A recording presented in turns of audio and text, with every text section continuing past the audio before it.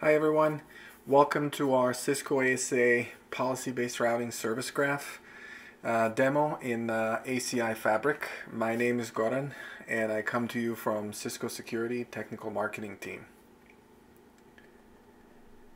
To set up our discussion, I am going to go over an ASA device package. Since release of ACI Fabric, we have released a device package for ASA that allowed APIC to configure all of these items that you see here in the left uh, blue square. Uh, includes all of the network interaction items, uh, including dynamic routing and policy like access lists, inspections, AS, uh, high availability, as well as special features like dynamic EPG. We also allow redirection to embedded firepower services in ASA appliances. Recently, we had added another option for device package, which is called fabric insertion. And this reduces the number of features that APIC can update to simply network interaction related items like interfaces, IPs, and static and dynamic routing.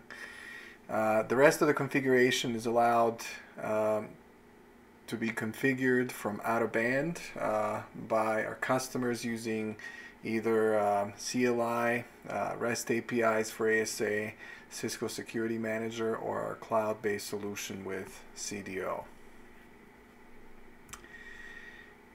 This simply shows you the path on cisco.com to arrive at uh, downloading these two types of device packages and in this video demo we're going to be using this type of tenant and PBR service graph allows you to use two different bridge domains but this is a more interesting use case where we can actually uh, use the same bridge domain and EPGs in those web and app that you see here and allow redirection uh, into a security appliance from traffic between these two EPGs.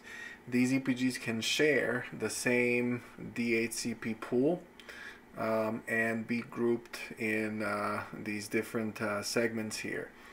The PBR service graph also allows us to define contract subjects that we want to apply the service graph to, uh, such as HTTP, um, and also define other subjects that don't redirect to security appliance and go line rate between each other, such as a um, S secure copy, right, uh, with SSH in between these two, which goes simply through the ACI leaves. On ASA, to enable this kind of uh, insertion here, we create a separate PBR bridge domain and the two IPs for ASA and ACI Fabric to communicate over. This feature um, requires that ASA enables same security intra-interface functionality. Um, that feature allows traffic to come in and out the same interface as required by PBR service graph in this deployment. We can leverage this deployment in unmanaged uh, ASA mode as well as managed with the device package. For enabling uh, you to kind of uh, get a better handle on this use case, I have created a number of Python scripts to build a tenant with this ASA uh, in place and the PBR service graph and posted those scripts on GitHub uh, Cisco security link that you see here. I will show you how these scripts work in this demo.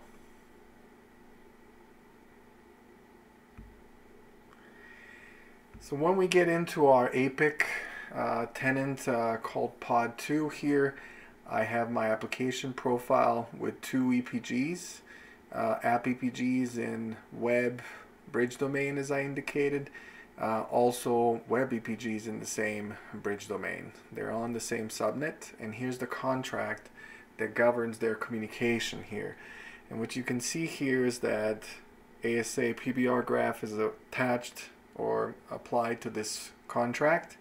And I have multiple subjects down below. So I have created uh, filters uh, for those subjects and I'll explain that communication as well.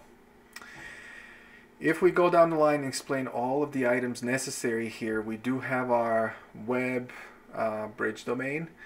And here we do have an SVI that uh, EPGs can direct their traffic in as in we showed you uh, that's an SVI for that uh, web bridge domain.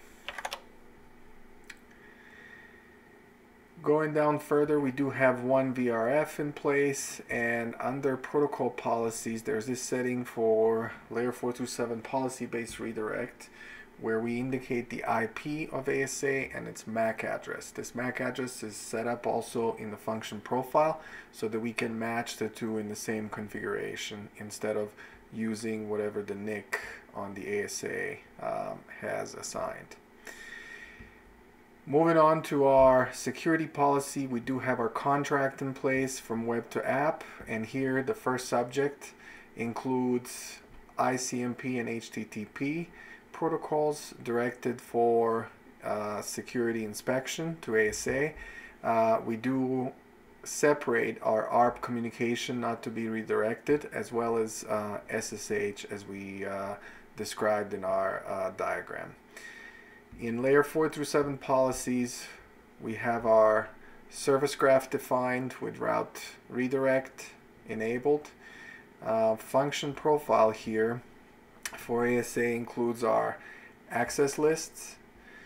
And we have a single interface with that ACL applied in access group. Interface information includes our IP address and the MAC that we showed you earlier. And we also require a route from ASA back to the ACI fabric to be enabled here. And that is the IP address uh, that we use inside uh, the fabric itself.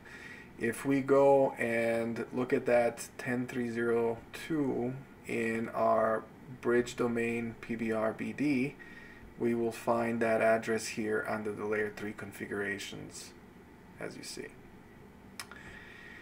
Um, moving to our ASA layer 4 through 7 device.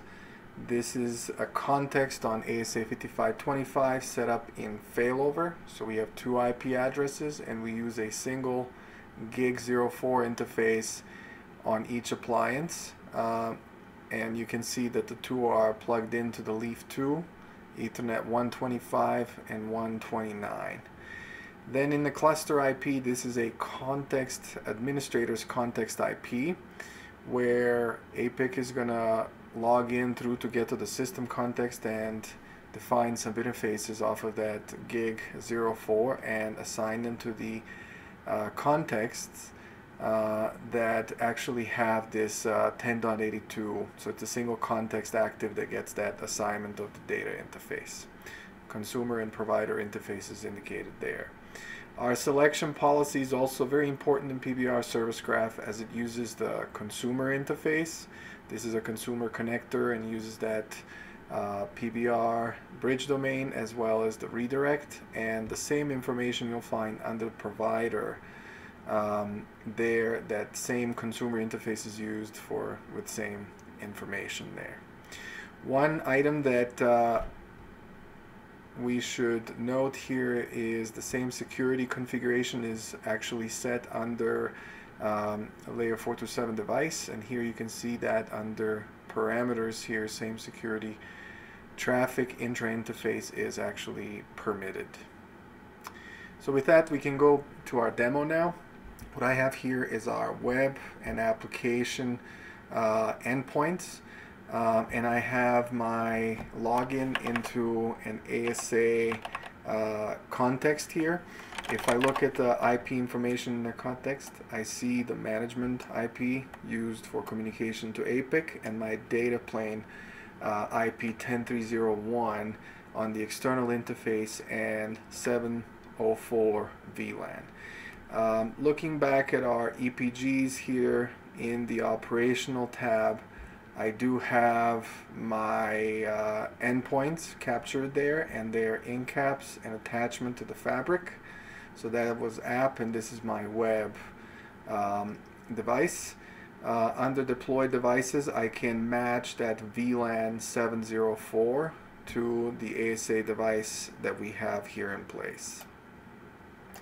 So now we're ready to look at our communication. So as we indicated here, um, my ping to my app device here uh, does go through ASA and you can see that ICMP connection. Uh, also my HTTP connection um, does attempt and come through the ASA. The app server doesn't have a web server, so it's actually refusing the connection, but we can see that syslog on um, ASA. And now if I actually try to open an SSH connection to between web and app, I can see that it's open, but there is no indication of syslog, so this connection is actually not coming through um, the ASA itself. If I look at show connections, I don't see that in there. So with PBR Service Graph, we can pick and choose protocols we want to inspect by the security appliance and which ones go straight through the ACI fabric at line rate speeds. Now, to show you a couple of items here also, if I actually go back and I remove that service graph from um, you know, in the security policy, I have this first subject where my ICMP and HTTP are sent to ASA. If I remove it, uh, that configuration will be wiped on my ASA context here. As you see, APIC had done that, cleared the access list and all the information. I don't see my data interface anymore, only management. There is no access list. And at this point, even those protocols that were inspected previously will now still be successful. I can still ping my uh, web to app, uh, you know, ping from my devices there, but that traffic is allowed but not inspected by ASA. If I do enable the service graph again, now I see that information on my uh, I see the data interface in place. If I do show ARP, I'm not seeing the ACI interface that I'm connected to yet. And as soon as that gets reestablished, I can see that my connectivity of the protocols inspected by ASA is actually resumed. Uh, attempting to wget as well shows up on ASA. So that was the simple demo I wanted to show you. And at this point, um, we're gonna run the scripts that I put on GitHub here and rebuild this whole environment. Um, it is done by running this uh, bash wrapper around all of the uh, Python scripting here that you see in place and um, I will simply start by deleting uh, this pod 2 tenant and then allow scripts to fully rebuild it.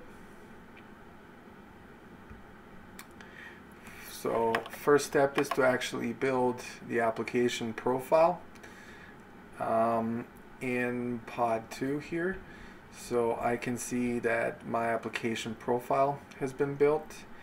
Um, and we'll go through all of those steps. Uh, there's a PBR bridge domain, there's a PBR protocol redirect, I will register my ASA. So if we open up um, these folders for my device, I just registered my device. I want to make sure that it's actually uh, in a stable state. A APIC had logged into it and I'll proceed to build my function profile, my service graph, and now my script is going to leverage this uh, wizard this magic green ball to apply that service graph. Um, so we'll create a contract uh, and apply that service graph and I'll add uh, just ARP subject here and update my uh, selection policy because the wizard cannot apply same consumer interfaces um, to both of these terminals here so here there's no information about bridge domain, the redirect, so I can actually update it through the script and put the PBR bridge domain and the redirect in place. So now with this script I basically have um, the same setup that we were uh, going over. You can actually go and modify and add additional subjects, change the protocols and actually uh, get to uh, adapt that contract to your liking. So my ping, I'm gonna look uh, to start working again. There it is, it's working again. My ARP shows the ACI IP is actually uh, discovered and I still have my same IP addresses here. If I do show connections, I see my ICMP connection. Um, and if I attempt uh, my wget here, I will see it come to an ASA device as well via syslog. So that is uh, the demo that I wanted to show you of the PBR service graph. I hope you enjoyed it and you find the provided scripts on GitHub useful in your automation. Thank you for your time.